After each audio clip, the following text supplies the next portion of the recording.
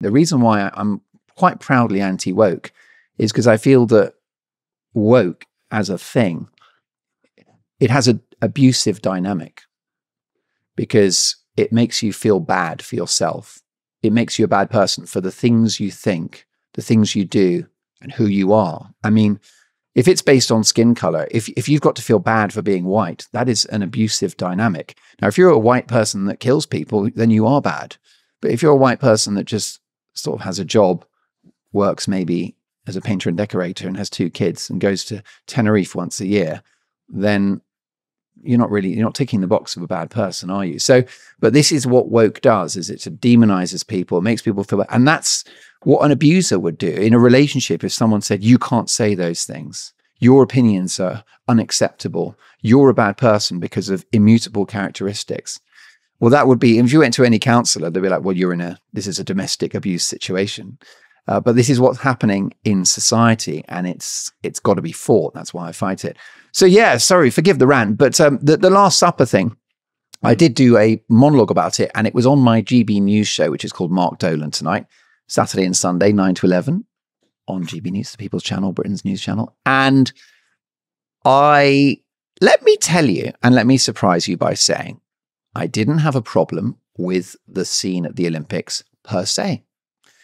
Are you Christian? I was raised Roman Catholic. Mm-hmm. Are you a believer? I'm I'm not I'm not a religious person. okay. Uh, but I, I any more than if I go further than that, I will upset my mother. Oh no! Well, let's not. Let's end the interview now. Uh, but what I will say is that so therefore I'm I'm not a religious person. I suppose Okay. you could call me non-religious. Um, but so with regards to the the Last Supper scene, um, I've got no problem with it at all. I mean, look at the life of Brian, Jesus Christ on a cross singing. Hmm. Okay, which ironically, the Christian right, when it was released, tried to get it banned. Sort of did get it banned, didn't Yeah. they? In in doing exactly what the woke left are doing now. So you know, it's a it's a basically a bit of a come full circle situation. Um, so I got I had no I had actually zero problems with it. And I don't think most people did. It was the fact that no other religion would be subjected to ridicule like that on a global stage at the biggest sporting event Mhm. there is. And if you had such iconography being sort of pastiched and mocked up uh, and mocked, whether it was Judaism, Islam, anything else, Hindu, it wouldn't happen. And that's because for some reason, Christianity is a soft touch. You're allowed to attack it, you're allowed to mock it. And I believe in that. You should mock Christianity, you should mock. Um, uh, you know, Catholicism, all the rest of it, uh, but only if you can mock the other religions. Yeah. Is is there also a tiny bit? I I, I suspect in you, certainly I have this in me of. And it's an ego thing, but I feel like a contrarian. Hmm. I feel like a, a rebel without a cause. I know that's pathetic, and everyone listening is going to what a pathetic. But I do, and I, I felt like that since I was fifteen. I can imagine you, you know, the one who stands up and said, you know, takes the risk and gets kicked out of the class at school. Yeah. And now we're seeing people dressing up as though they were rebels, but taking aim at the easiest target. That's not going. There's no. Right. There's no cost. Bingo. Whereas it's like if you were really going to do this, I mean, Salman Rushdie did it 20 years ago with Satanic Verses. You know, that's that's that's really taking the risk. Correct, exactly. And that man is just a total hero and and so courageous. I mean, he's really he almost paid with his life. He certainly paid with his health following a more recent attack. And he's paid with his career. Uh, The guy had armed security for at least a decade after publishing uh, a book which uh, wasn't even controversial. It was just because of things that were referenced in it more than anything else. There's a few pages that were a bit a bit bad Maybe a bit edgy. about Muhammad.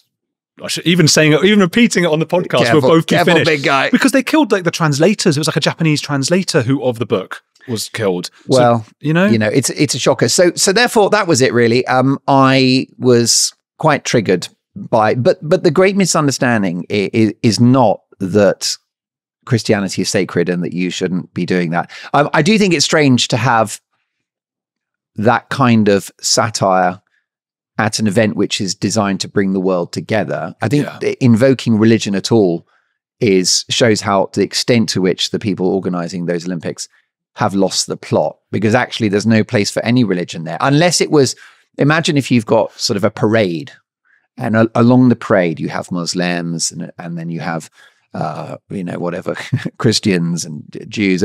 But that's not even how the Olympics works, is it? It's the countries that have their little moment, you know, and it's like, here comes the United Kingdom and here comes Spain. And, you know, so why, why there was religion there at all is beyond me. But the fact that it focused exclusively on Christianity tells you everything you need to know. Uh, the West is bad, of course. The West is shameful. Uh, it's post colonial. And therefore, the legacy religion of the West, which is Christianity, is bad too. So it's all open target. And uh, you know, the the West being bad is is you know going some in terms of warping reality.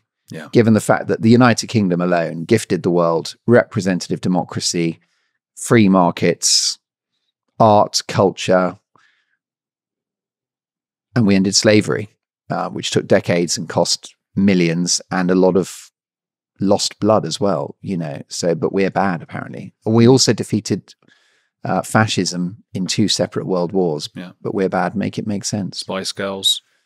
Well, and the thing is, well, yeah, I mean, that's you know, Geri was was crossing the line. I do think.